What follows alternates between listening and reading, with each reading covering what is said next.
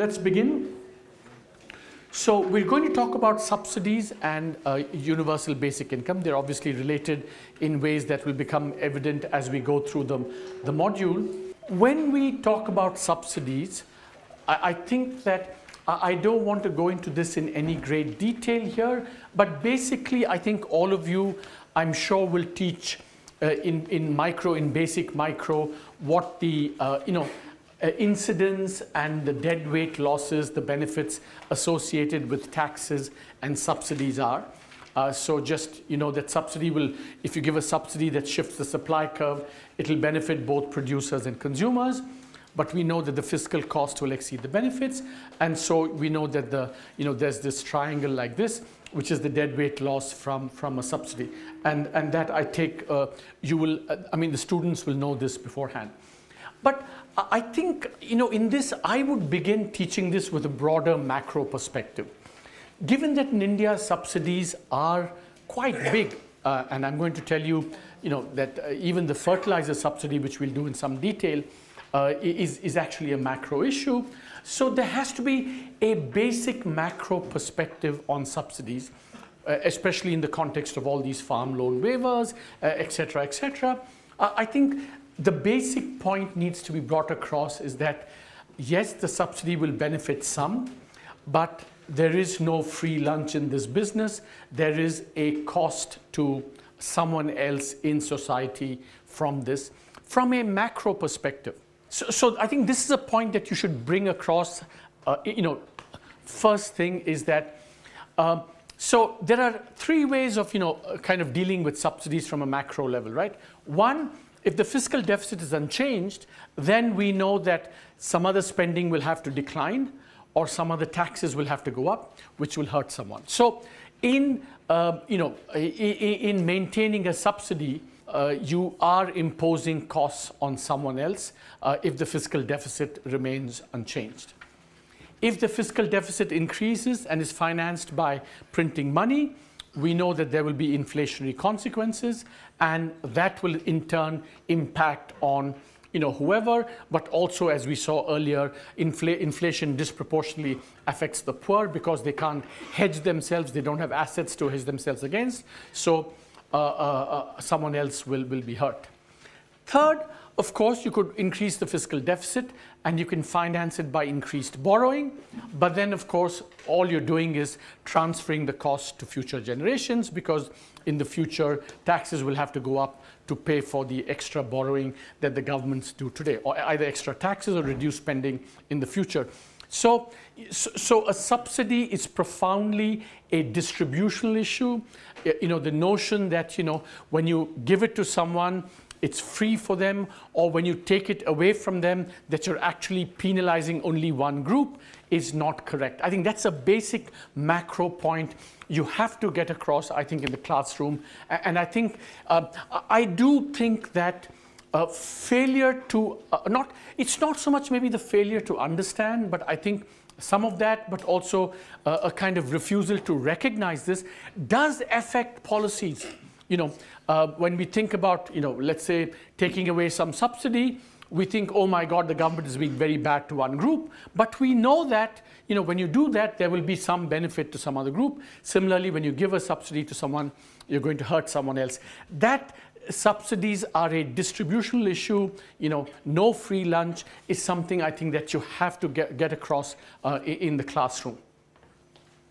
Um, so let's see what happens in India today this is a, a kind of uh, one way of presenting what the major central government budgetary subsidies are.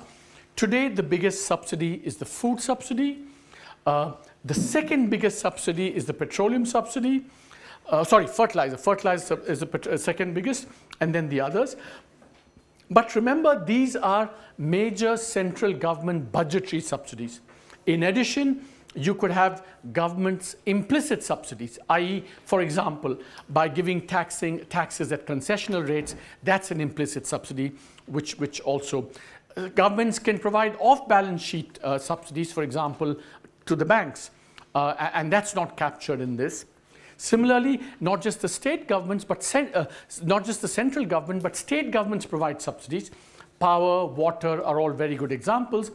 So when we talk about, you know, when you look at the central government budget and look at the numbers, that kind of is not a complete picture of the total subsidies that are provided by the government.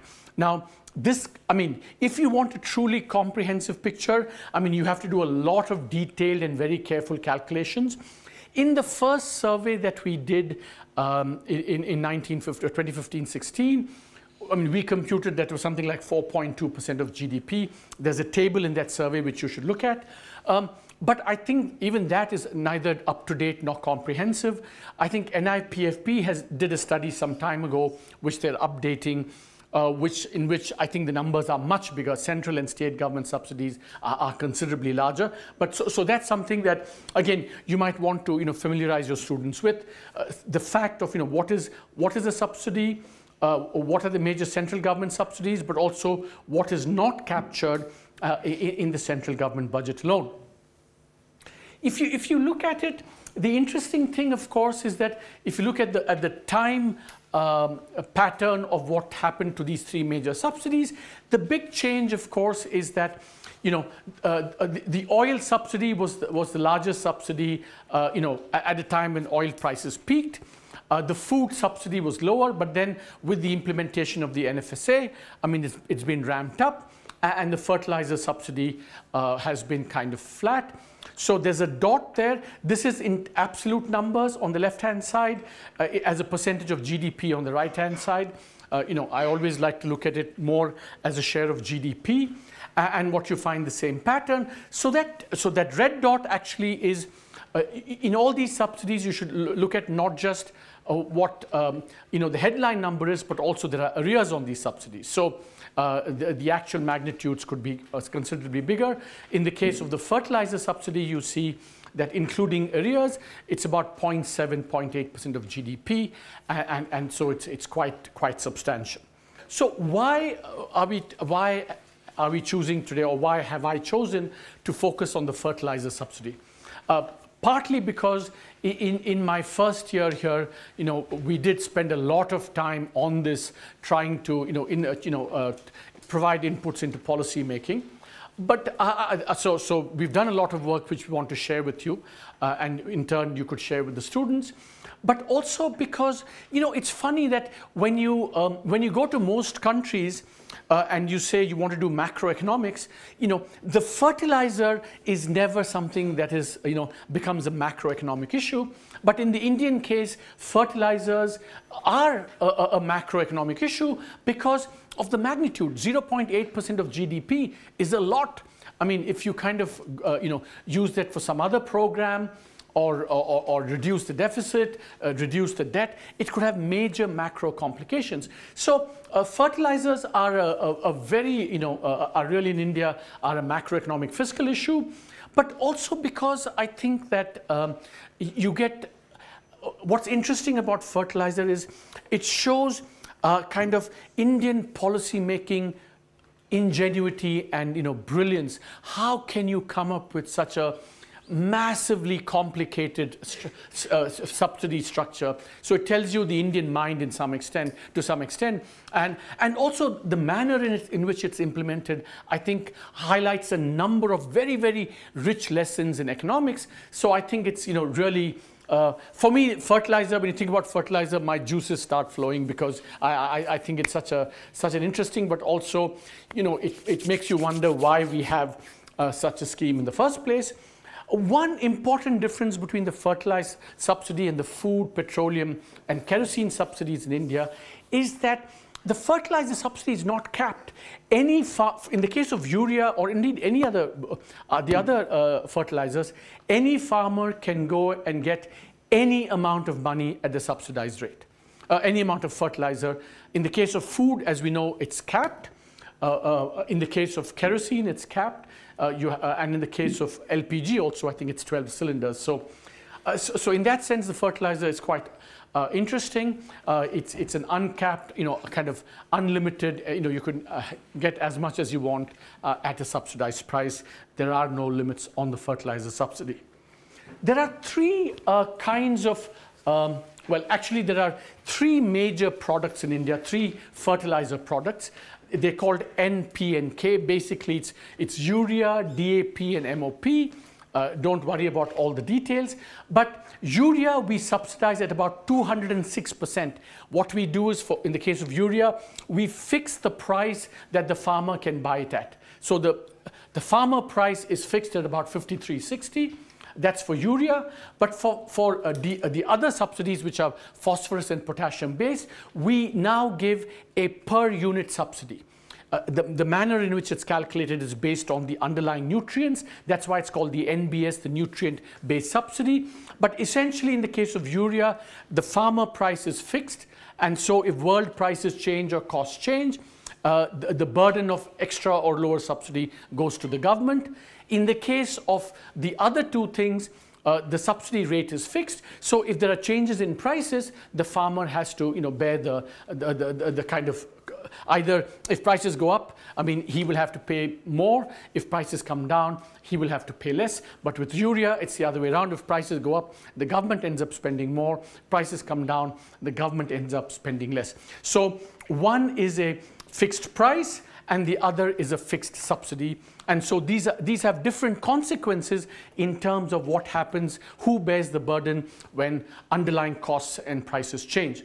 What you find is that we favor urea a lot in India, and you can see that uh, urea is subsidized at 206%, whereas the other two are subsidized at about 50, 60%. So we really, really favor the use of urea through our subsidy. Um, and of course, the expenditure also you can see is two and a half times uh, on urea as it is on the other two combined. Uh, this is for, I think, 15, 16 or 16, 17, one of the two, latest, it's, it's the latest we have. So what, what are the consequences of this? Uh, I've told you this, in fact, this is something you may want to show your students about the analytics of this, what happens with urea, what happens with this. This is my favorite Corden diagram. World prices go up. In the case of urea, prices go up. In that case, it's the subsidy. Uh, prices go up, subsidy remains the same. I mean, it's interesting that, you know, when we talk about, you know, prices in the case, one thing you find with this is that farmers respond to subsidies and prices very, very quickly and perceptibly. You can see it in the data. So the blue line here is the ratio of use of urea to uh, uh, uh, K is, is potash, which is uh, MOP, and the green line is the ratio of N to P. Again, so uh, uh, see how amazing this is. So when P and, P and K prices are decontrolled so that they go up, the urea consumption goes up, i.e. the consumption of the substitute product goes up. Similarly, when the subsidy comes down, the use of these two come down, is, uh, increase uh, all the way here. And again, when the NBS policy was instituted, the prices went up again, so the use of urea went up and the use of, of uh, P and K came down. So don't let anyone tell you that farmers don't respond to prices. Farmers respond to prices Prices matter, subsidies determine, prices and subsidies do determine you know, input use, output uh, behavior by farmers, and you can see that very clearly in the data here. So I, don't want to, I mean, part of the reason why I, I got, uh, you know, uh, interested in this is urea, for example, we're going to focus on urea now. So we have three kinds of fertilizers. We have different uh, subsidy regimes. Now I want to focus a, a, bit on urea. Essentially, as I said, what happens is that we set the, the farmer price. And then what we do is we provide a subsidy to all the domestic producers. And I'm going to come to this as one of the most crazy things that we do. Uh, and we also subsidize import. So, for example, you know, if demand is 10, domestic producers produce 7, imports are 3, we subsidize the 7 and we subsidize the 3. Um, but then over and above, and the subsidy on imports is also pretty, pretty kind of uh, interventionist. And in addition, of course, what we do is that we don't allow free imports of urea. Urea has to be imported by three agencies, two public sector, one private sector, and so it's called canalization. I mean, if you were to tell someone that in 2017, uh, 25 years after we uh, you know, liberalized the economy, that we still have monopoly or quasi-monopoly imports of a product like fertilizer, I mean, people would think you're, you know, uh, you know, when did we leave the socialist Raj behind? I, I think we haven't done that, uh, and we still, you know, kind of, uh, we don't have free imports of fertilizers. Now, uh, finally, we also, you know, regulate if you, you know, if fertilizers produced in point A, which fertilizer will go to, from A to B, how it will go, etc., etc., are, are, are, also is also regulated. So this is a highly regulated sector, uh, a highly regulated product, and hence it creates a lot of distortions. And we want to see what these uh, distortions are. Um, the first is uh, something that we, we, we didn't see, is that the ideal ratio for urea and the other two is 4 is to 2 is to 1. Because urea prices are subsidized to the extent of you know 200 plus percent, we see that the India average ratio, eh, you know, the ideal ratio is 4 is to 2. I mean, in, in, in, it's almost double that all over India. But if you look at Punjab, it's like you know off the charts. Um, uh, I'm going to, so this is a chart, in fact, of the distortion in the relative use of, of the urea and the potash subsidy. You see, for example, um, I want you to look at the scale. The first one is drawn on a reasonable scale, but then we can't fit in Rajasthan, Haryana, Punjab on the same scale because the distortion is not in, it's like uh, uh, Latin American inflation rates, 3,000%, 4,000%. So, so that's the kind of distortion we get uh, in urea. And therefore, what's been happening, and we'll do this to, to some extent in the agriculture section, uh, soil quality has I mean, deteriorated and it's created health hazards. There is something called a cancer train that goes from a Muktsar district in Punjab. I don't know where it goes to, but cancer rates there um, 136, whereas I think the national average is something like 80, uh, is, uh, uh 80 uh, per 1 lakh population. So, I mean, so the, the consequence of subsidizing urea on is very clear, both in terms of soil quality and in terms now also of health. So this is the first big distortion from the kind of things we do in the fertilizer sector. Uh, the NPK ratio 4 to 1, uh, 4 to 1 is for all India. In Rajasthan's case, there is a K already in the soil, so we can't have 4 to 1 for them. So I mean, uh, we need to have state-specific. Yeah. So I, I think there are state-specific. Yeah. I guess it is four to one taken for all, and then uh, yeah. have calculated the. Yeah. We, we I, I guess we have to do this all India level, and, and we, we could. I mean, you could do it stateless. State-specific uh, NPK ratio. What should be the ideal one, and from that we should calculate. Uh, I can safely say that in Punjab it will not be 60, yeah. 61.7 to no. yeah. No, but the point is well taken. I think uh, uh, this is something that maybe th there is a state-state state-specific calculation of this as well, and, and we should look into that. Yeah, that's uh, certainly um, because soil quality varies, you know, etc. So I think that that would. Uh, K distortion 4500% will not uh, remain there because Rajasthan soil has already K. Yeah, but if it has, uh, uh, but but I think this is you know, uh, uh, I think it shows that even allowing for that, it's it's it's it's horrible. I think. Uh, anyway, so this is the first distortion that comes from uh, this. The the other interesting thing, and this is what I want to focus on, is that in, in last year's survey, we had a whole chapter on this, and we said that there are three kinds of leakages of the fertilizer subsidy. Um, and by leakage, we mean that in a sense, whatever is not going to the deserving small farmer is kind of one definition of what the leakage is. Now, remember that uh, essentially what you've done is that in the case of uh, urea and, and these other, especially urea, you violate the law of one product, one price. You don't have one product, one price because you get the subsidy only for agricultural uses and uh, also because, you know, uh, in India there's a price and in, uh, in, in, neighboring countries there's another price. So immediately you can see that when you violate the law of one product, one price, then you will have scope for leakage immediately. So there are two kinds of leakages that happen. Some of it is diverted to industrial uses. And, but that's one leakage which, you know, when the prime minister came in, he had, you know, he instituted this neem coating of urea.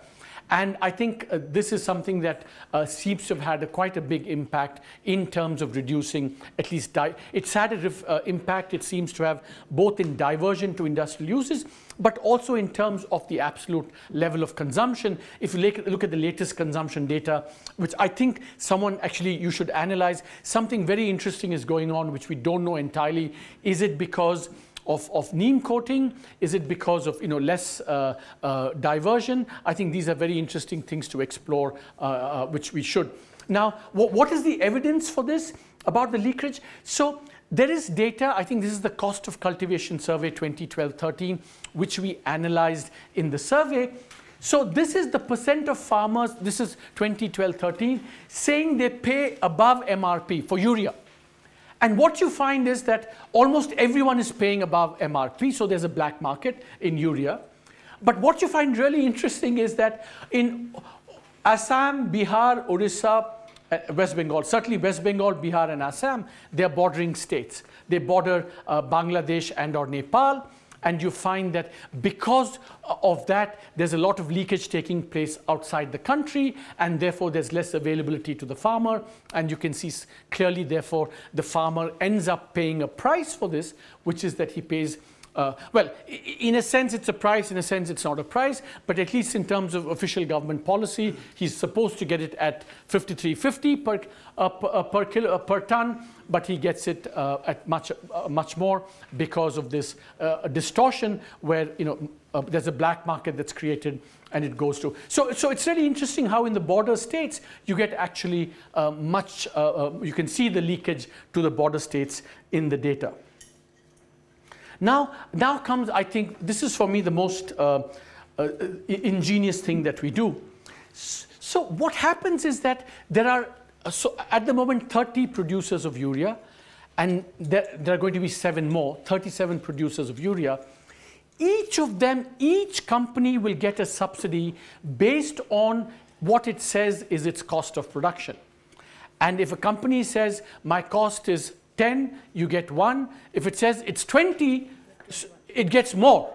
So, so the more inefficient you are, the more the subsidy that you get in the case of urea.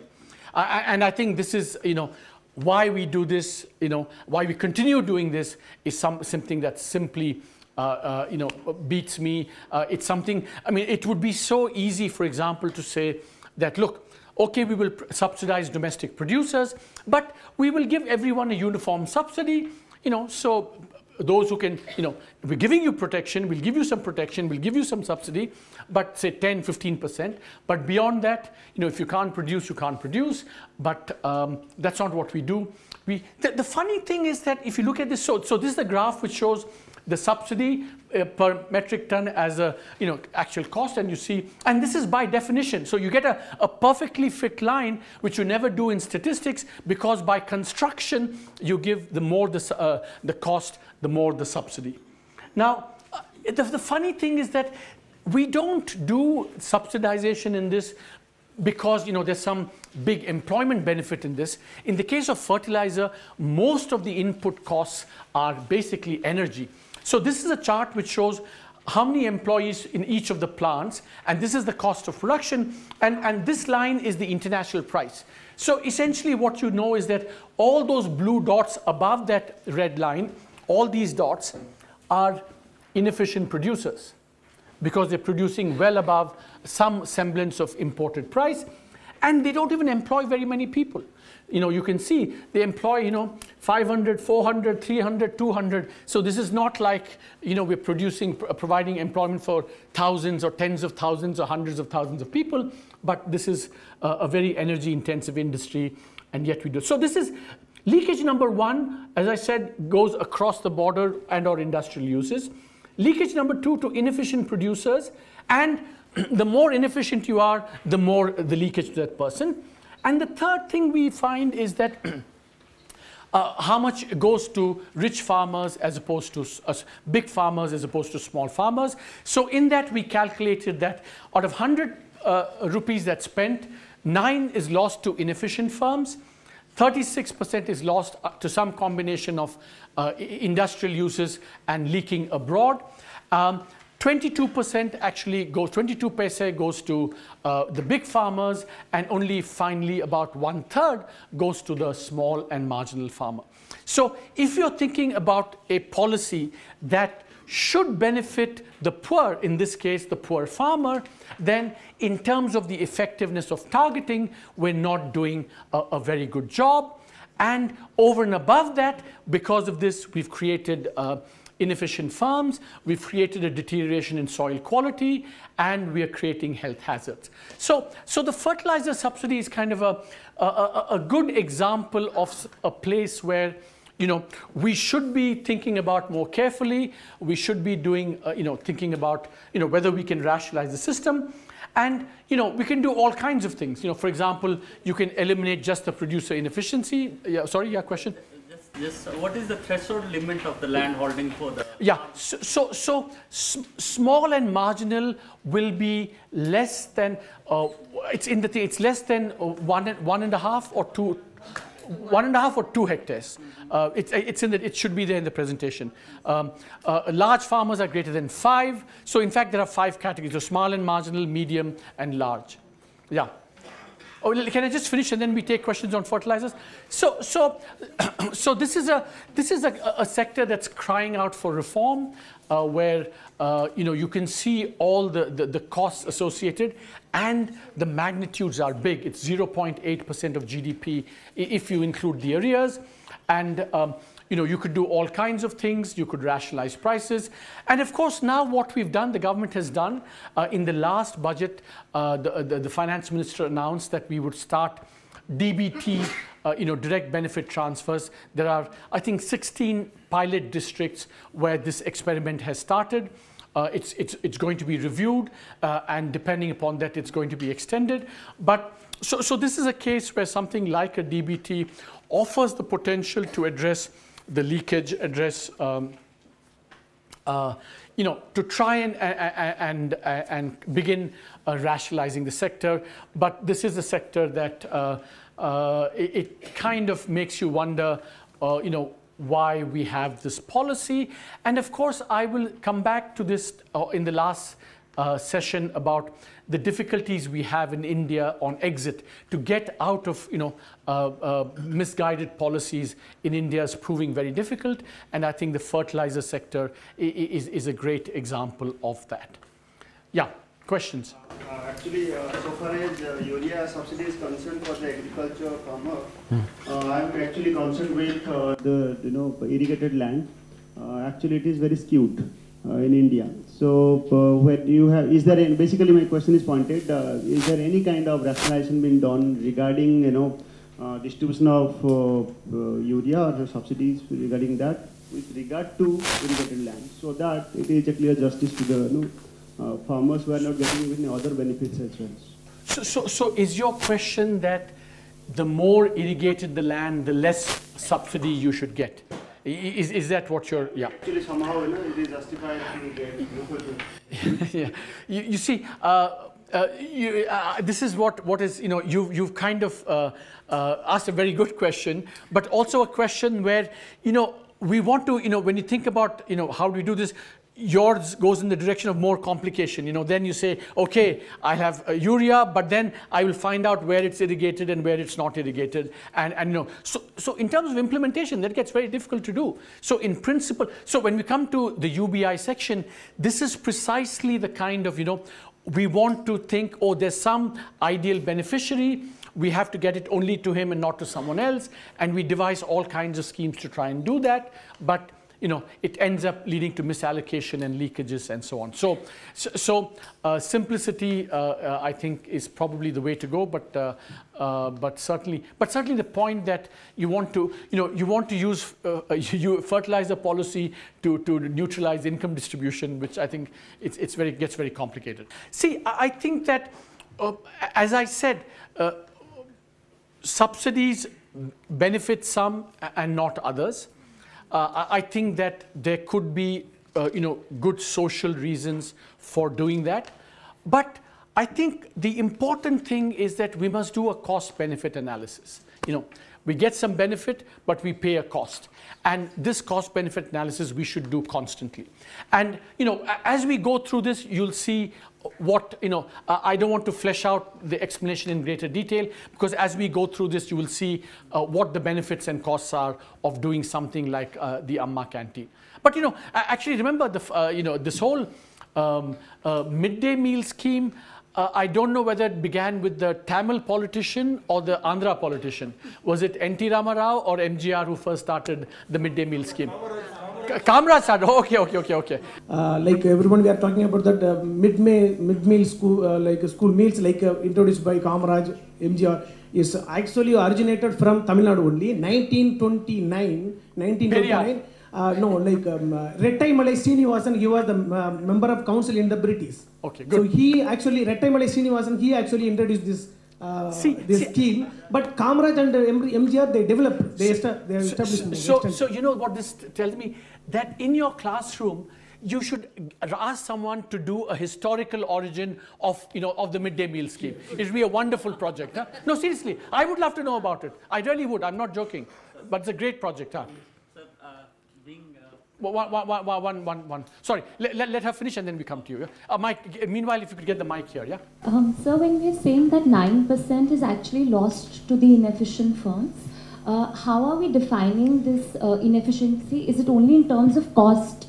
Yeah. Uh, or cost relative to yeah, so it's cost relative to the international price because that's the opportunity cost of resources. Because you could uh, either uh, use resources to produce it domestically or you could save those resources. And so, what is the cheapest alternative source? That's the, that's the subsidy. That's how you calculate a subsidy. You know, there's a market price and the price that you pay. In this case, uh, the efficient cost of production is one metric would be the imported price, landed imported price. But that's a standard way of doing it. It's not a, a very fancy or complicated thing at all. Because that's what you want to measure it against what the, the, you know, the lowest cost of production would be. Um, yeah, yeah, sorry, yeah, yeah. Uh, being from a farmer family, I just want to raise this point, and that is from Haryana. Hmm.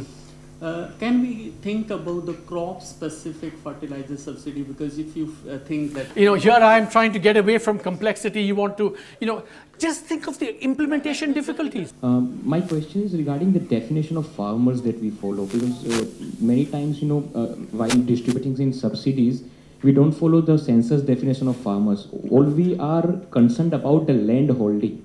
So here in this whole realm, uh, landless laborers, landless farmers are missing their opportunities here. And they are the most victimized of these cancers and other things as well. So how we can bring them in the thing? See, a first point is that this subsidy anyone, even a landless farmer, can go and say, give me the subsidy, give me fertilizer at the subsidized price, and he can sell it uh, to whoever he wants. So in that sense, this doesn't discriminate whether you're small farmer or, or big farmer, uh, eh, so yeah, or no farmer, exactly, or no farmer, uh, no farmer, exactly, or no farmer. Uh, but th the point that you raise is, you know, is a much bigger point, right? How do you, you know, improve the livelihood and incomes of uh, those who don't have land. Uh, and that is a question, you know, it relates to how we should develop the agricultural sector, how we should develop the manufacturing sector, how we should get them to move, what their skills should be. And those are things we'll touch upon both in the agriculture and the manufacturing uh, modules that we do later on. Uh, I think I'm going to move on now, uh, unless there are, you know, let me, let me move on and then maybe at the end, when we take a break, we can do this. So the first year of the survey that I did, that my team and I did, we documented all these subsidies and we spoke about JAM uh, and, and all of that. When we went around presenting this all over India, I think the question came back, you know, why do you only document and talk about the subsidies that the poor are getting? What about the subsidies that the you know others are getting, the middle class and the rich? And that was a very fair uh, critique of uh, of us. And so we said, so in the in the second survey we did, that is in 2016, I forget, it's uh, two years ago, not the latest one, the previous one. Uh, we said, okay, let's have a go at documenting uh, the subsidies that go to the relatively well off. And this is what the uh, finance minister mentioned in his speech, that you know, this created, uh, this generated a, a, nice discussion on this. And now this is kind of a, a little bit like a pedago pedagogical device that I would use uh, for teaching students. I think when we think about a subsidy, and this kind of answers the question that you raised as well about the uh, Amma canteen, sir, this is, you know, it's kind of response to that as well. So one way of thinking about is what are the benefits and what are the costs of subsidies, right? So uh, not in, in, a, in a narrow sense, in a very narrow sense, and I'm going to define what that narrow sense is. So if you give a subsidy uh, on a particular commodity, the benefit could be that uh, how much of it is consumed by the poor right? So the benefit, so in this, remember in all of this when we give subsidies, at the back of our mind we have some target group. You know, the bottom 30%, bottom 40%, that you can define on your own. For the purpose of illustration here, we say that the target group is say the bottom 30 to 40%. And by the way, the NSSO data will allow you in your classroom to give the data to your students and say, no, let's do the same exercise if say my target group is 60% and, and the target group is 70%, that's an exercise that you can do in your classroom based on this analysis that we do here. So we measure the benefit is, so if you're doing say, uh, let's say food, Amma canteen, for example, food, you say bottom 30%, how much of their expenditure goes on food? If they consume 50% of their expenditure on food, then that's a, that's a subsidy that will have, from a social welfare point of view, a lot of benefit. But if the group is only consuming 10%, maybe it will have less. So that's the benefit. But then the cost, cost comes in is, is the leakage. One thing is, so if you spend 100 rupees on, um, on the Amma canteen, you know, uh, all the rich people, for example, in, in the neighborhood that I live in in Chennai, there's no nothing that prevents the rich people also from going and eating in Amma's canteen.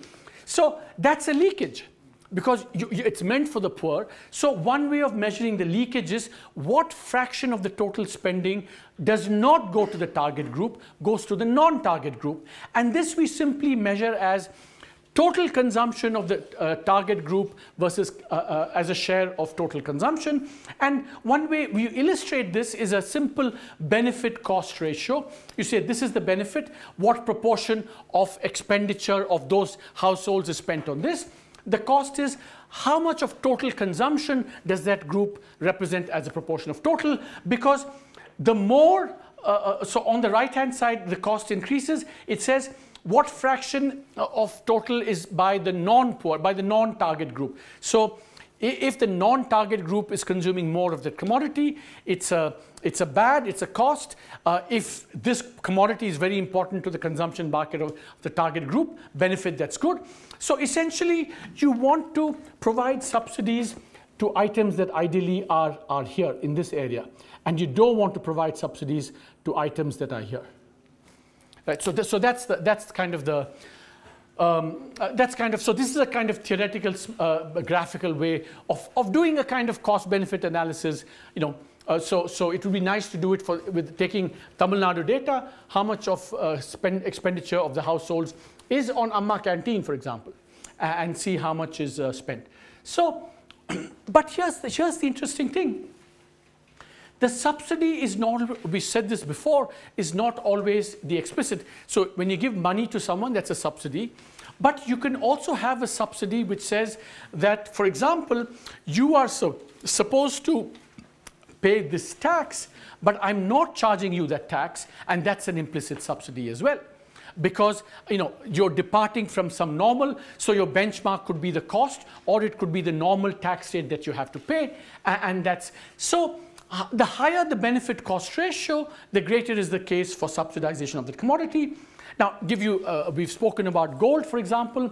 It turns out, you know, this is from the NSSO data, the top decile, the top two deciles consume 80% of the total gold share. So we know by definition that if you tax gold at anything less than the normal rate, you will be giving a huge implicit subsidy to the non-target group because they are consuming most of the gold. Uh, so, so this was the argument that we used in the in the um, in the in the uh, uh, report that I did on on the GST. But remember that.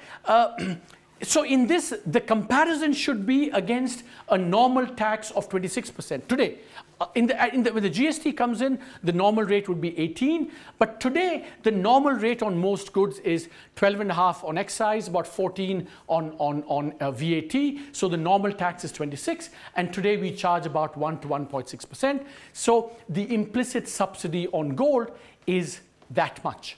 It is it's basically 2 minus 26 times the total amount consumed by, uh, by the non-poor, which is a huge amount. Now, so, so I want to, yeah, this, there is a similar calculation we can do for, you know, uh, a, a, a, aviation, uh, you know, who really travels. You know, we actually uh, provide a subsidy to uh, aviation turbine fuel. Uh, because, you know, in the case of aviation turbine fuel, the only point I would make, we know, for example, the poor don't travel by, by plane. Uh, but the interesting thing is that what should be the comparison point for it?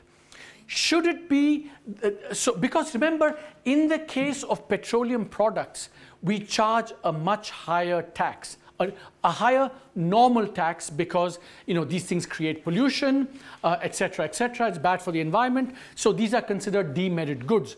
So if you were to make the, the, the comparison something like uh, you know, what is a normal charge on petroleum, which is maybe like 50, 60%, then, you know, again, you will see that the implicit subsidy could be quite, uh, could be quite high for, for the rich. But the, I think now you can get, you can subsidize by relative to, on the indirect tax side. So, you know, gold and aviation fuel are indirect taxes. They're paid by consumers in some way. But you also can give implicit subsidies in the form of foregone income tax. Uh, so if you don't pay income taxes uh, uh, uh or you get an exemption, then that is also like a subsidy. Now, I, here the point I want to make is a, very simple point. By definition, an income tax benefits not the rich, not the very rich, not the very, very, very rich, but the very, very, very, very, very rich for one simple reason. Why?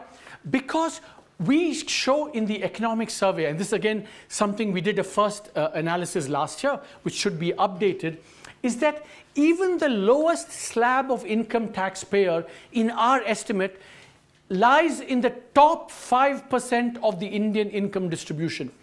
So one of the really interesting things about India is that the middle class taxpayer thinks of himself as middle class and poor, you know, uh, but uh, actually if you're paying if you're paying even the lowest tax on the income distribution, you find that you're actually very, very rich. So any income tax exemption that we give is by definition a, a, a subsidy that leaks because it doesn't go to the target group, because the target group is not even remotely close to paying taxes, it goes to the very, very rich. So we use this to calculate, for example, in the case of small, we have a lot of small saving schemes, i.e., you know, uh, post office, provident fund, it's, it's, a big one. We give these uh, uh, uh both uh, better uh, interest rates and we give a tax exemption. So in this case, suppose you, you add together the better interest rate that you get and the tax exemption that you get against what a normal return should be in a bank deposit or a government bond, we find that there's a huge subsidy to uh, these so-called small savers, so-called middle income class people who are actually at the very top end of the income distribution. And so, so what we did, so this is something that's uh, so, so just to give you a, again, this is again a pedagogical device. So uh, we have a benefit cost ratio calculation. Remember, we did benefit, we did cost, divide one by the other. So you can get a benefit cost ratio. And we know that, you know, uh, uh, the, the, the higher the benefit cost ratio, the, the lower to be, should be the tax. So the more, the more you go on this side, the more you should be here. So, so here the benefit cost ratio is high and therefore you should have, it would justify a, a high subsidy because subsidies are this side, taxes are going this side. So if you have low benefit cost, like here diesel, and broadly what we find is that, you know, the income Indian pattern is not too far away from that, you know. Uh, petrol clearly, uh, you know, is taxed uh, maybe uh, more than it should be, this seems kerosene uh, and LPG seem to be subsidized too much relative to the benefit cost ratio. So this is a way of just, you know, what should be the benefit, what is the benefit cost ratio, what is the effective tax rate, and what should be the desirable tax rate. You can kind of do a comparison on this, and, and, and this is one way of doing it. And of course, uh, what we did in the survey, you know, I told you we put together all the subsidies to the non-target group, and as an illustrative calculation, we said 1 lakh crores which is, you know, which is not, and the reason why the minister referred to this was that, I mean, uh, this at least, I mean, the number may not be exactly right. You have to redo the calculation, but uh, it gives you a sense of, you know, let's just not focus just on the subsidies to the poor. We do a lot for some, uh, you know, the undeserving rich. Uh, and, and in any political discussion, I think we need to keep this in mind. Uh, uh, and of course, all those Marxists out there. Uh, so in the first year, when the first year survey came out, uh, you know, uh, the authors of the economic survey were called anti-poor. To redeem our Marxist credentials, uh, we then did this. Now we can pretend to be both Marxists and capitalists at the same time. That's the advantage of being able to do two, three surveys. You can cover all your bases. And, and after having done this, I feel immune to all the attacks from Marxists as well. Question? Oh, now I know the Marxist attack is coming. Thank you. Well, I don't know. But it's about the benefits. And I was just wondering if instead of doing just a share of expenditure in the budget, You can have weights, you can have weights, welfare weights. Yeah, yeah, absolutely. because railways being, the, I, I- see that you're doing only AC, which is. Yeah. Uh, but there are small expenditures which are important, which would, you know, would make sense to subsidize, uh, even if the share is not.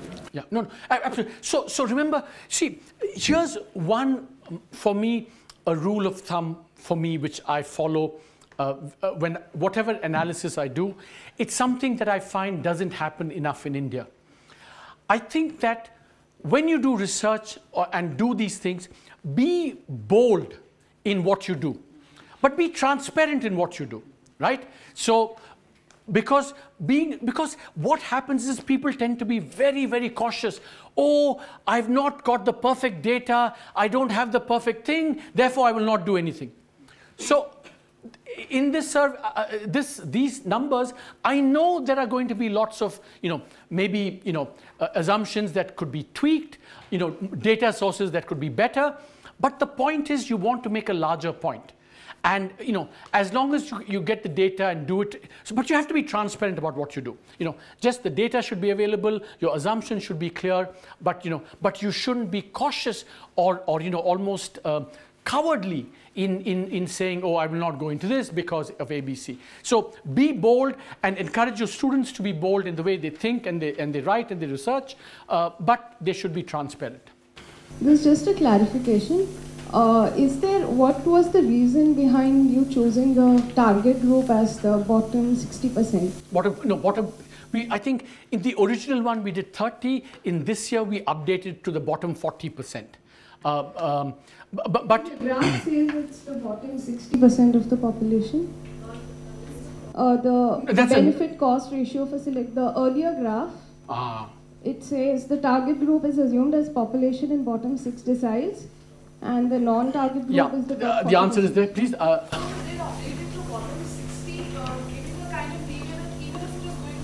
ah, so, so in fact we've updated to bottom 60. Yeah. Yeah. So, so, so again, remember these are alternative ways. You choose your definition of target group and do it. But here we- we've done, you know, in the in the in the in the survey when we first did it, we said the target group is the bottom 30%.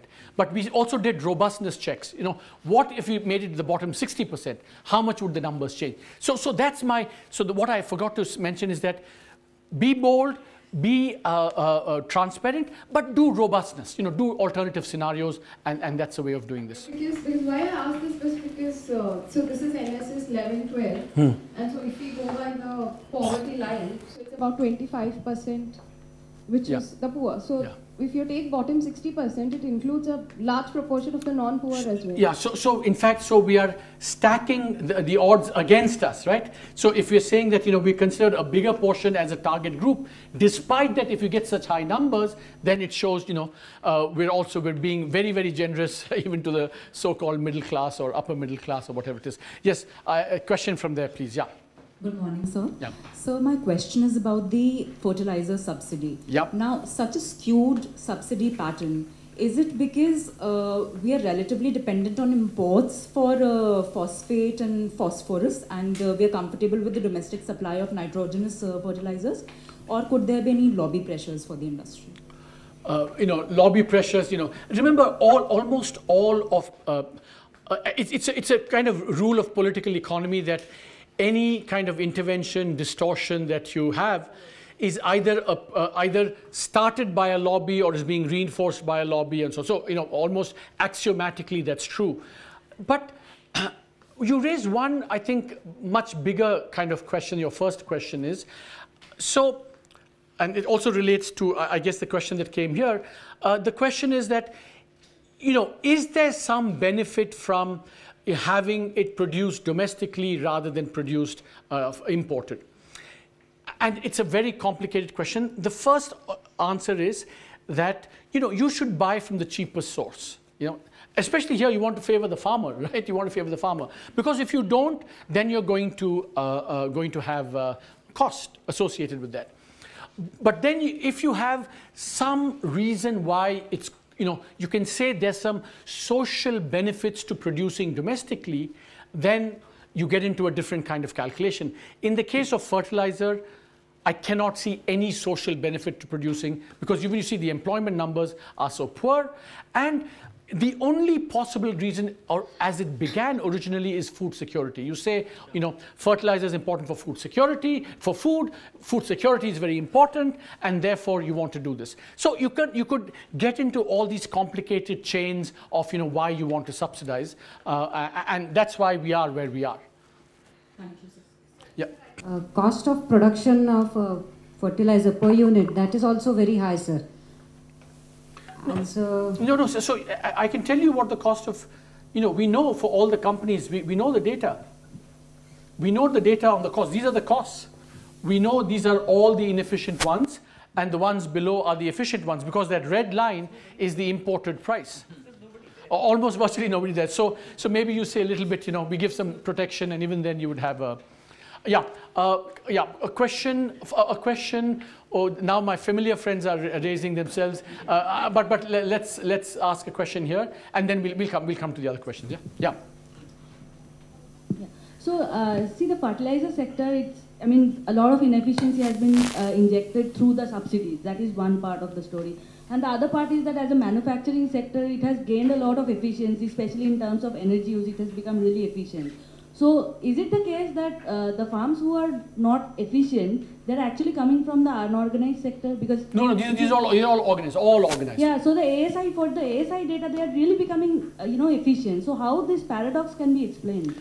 Um, um, the, this is latest data, so they may be becoming more efficient. And they could still be very inefficient relative to world prices, to the cheap. Yeah, so that's, I think, the. Yeah, uh, please that are made about fertilizer subsidies also uh, applicable to food subsidy or do we make a distinction?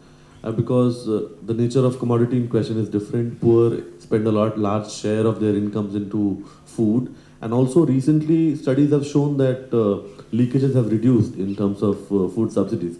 So can we say that if leakages are indeed reduced or covered we will have uh, no issues with food subsidies is it, is it yeah, yeah, go, go, very good question. I mean, how does the food versus um, fertilizer? Uh, a, I deliberately chose fertilizer over food for a reason. Uh, uh, food is a bit more complicated, I think. Um, I, and if you don't mind, when we do the UBI, we'll get into this. But certainly, I think that, remember, there are lots of distinctions. One, food is more important uh, uh, for the poor. Uh, second, it's limited. It's not an unlimited subsidy like it is for fertilizer. Third, we have a elaborate system of PDS. uh, which, as you rightly say, you know, in the past there were lots of leakages, but I think there has been some improvement over time, but it's still, uh, you know, far from having uh, solved that problem.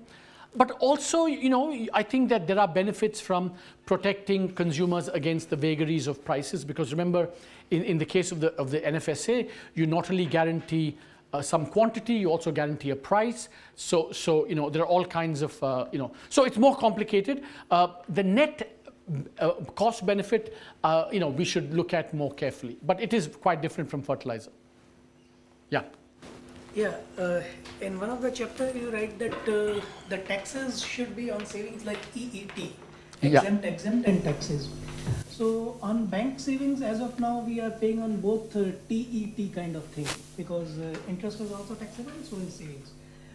So if we make EET, is it for equity also? Because equity is also one form of savings where we are paying corporate income tax effectively or at the time of dividend distribution. So TET should be, uh, rather EET should be both bank and bank savings and equity or only the bank savings? See, in terms of savings, I think the two ones that are kind of neutral are TEE and EET. So I basically at some point you have to pay taxes, either when you put it in or when you take it out. Um, the, the corporate tax thing, see, in principle, see, in principle that um, the returns, after tax returns to all forms of financial instruments must be equalized, right? Um, so in that sense, I, I think we should have a system that does that.